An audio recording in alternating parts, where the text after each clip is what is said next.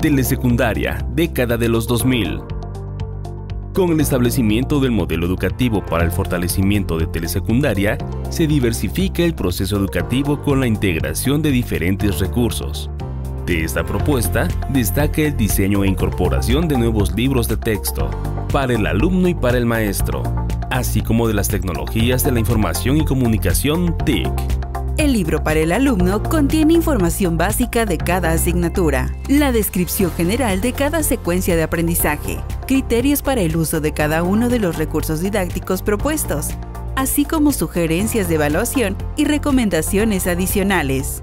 Su función es guiar y apoyar el aprendizaje de los alumnos.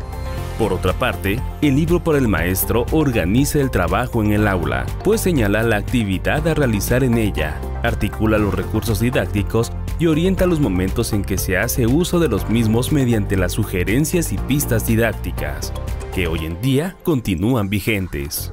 Los libros de apuntes bimodales facilitan las actividades de enseñanza y aprendizaje, pues representan el primer acercamiento con algunas áreas de conocimiento, y las características del modelo, al incorporar ejercicios de reflexión y autoevaluación.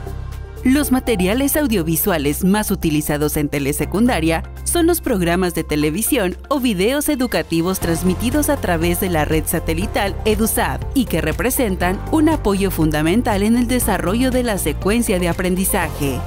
La mediateca aulas de medios y los objetos de aprendizaje son elementos que se incorporaron como apoyo al proceso educativo para promover la comunicación, evaluación continua y búsqueda de información.